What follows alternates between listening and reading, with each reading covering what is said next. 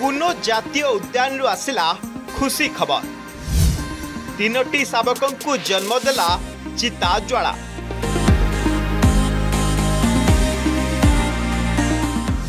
ନୂଆବର୍ଷରେ ଦୁଇ ଚିତା ବନିଲେ ମା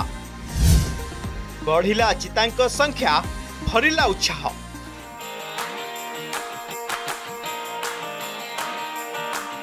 ମଧ୍ୟପ୍ରଦେଶର ଜାତୀୟ ଉଦ୍ୟାନ କୁନରେ ଜନ୍ମ ନେଲେ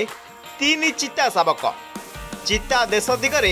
ଭାରତକୁ ନୂଆ ଆଶା ଆଣିଦେଲା ନାମିବିଆରୁ ଆସିଥିବା ଚିତା ଜ୍ୱାଳା କ୍ୟାମେରାରେ କଏଦ ହେଲା ସେହି ସୁନ୍ଦର ଦୃଶ୍ୟ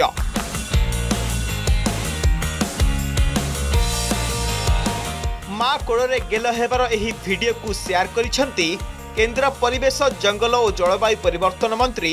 ଭୂପେନ୍ଦ୍ର ଯାଦବ ଆଉ ଦେଶର ପ୍ରତ୍ୟେକ ବନ କର୍ମଚାରୀ ଓ ବନ୍ୟପ୍ରାଣୀ ପ୍ରେମୀଙ୍କୁ ଜଣାଇଛନ୍ତି ଅଭିନନ୍ଦନ ସେହିପରି ମଧ୍ୟପ୍ରଦେଶ ମୁଖ୍ୟମନ୍ତ୍ରୀ ମୋହନ ଯାଦବ ମଧ୍ୟ खुशी व्यक्त करने देशवासी को शुभेच्छा जनाई हम सबके लिए सौभाग्य की बात है मध्य प्रदेश के लिए गौरव का विषय है यशस्वी प्रधानमंत्री माननीय नरेंद्र मोदी जी ने जिस चीता प्रोजेक्ट के लिए हमारे अपने मध्य प्रदेश में पालनपुर कुनों में शुरुआत की थी उसमें ज्वाला नामक एक मादा साविका द्वारा हाँ, फिर एक बार तीन नए नन्हे मुन्नों का हमारे यहाँ आगमन हुआ है कुल मिलाकर के अब हमारे अपने जंगल के अंदर 21 चीता प्रजाति के प्राणी हो गए हैं इस नई सौगात के लिए मैं सबको बधाई देना चाहूँगा वर्ष चिता वंश वृद्धि ने नुआ आशा दे चिता आशा आशा गर्भर जन्म नहीं तीन शवक आउ ए ज्वाला भरी नुआ जोश ज्वालार तीन शावक को मिसाई দেশের চিতা সংখ্যা কোড়িয়েকু বৃদ্ধি পাইছি সমস্ত শাবক সুস্থ মধ্য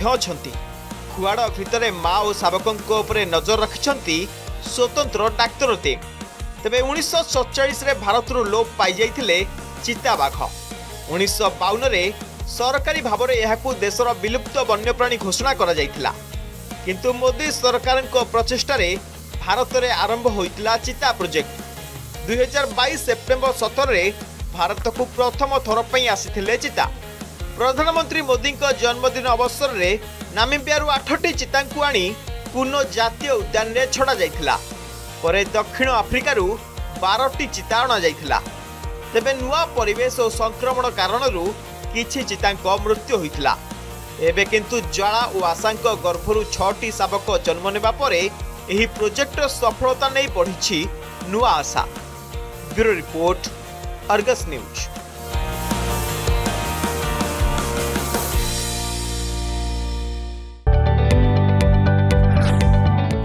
जदि आपण को आम भिडी भल लगा तेब आम चेल्क लाइक सेयार और सब्सक्राइब करने को जमा भी बुलां नहीं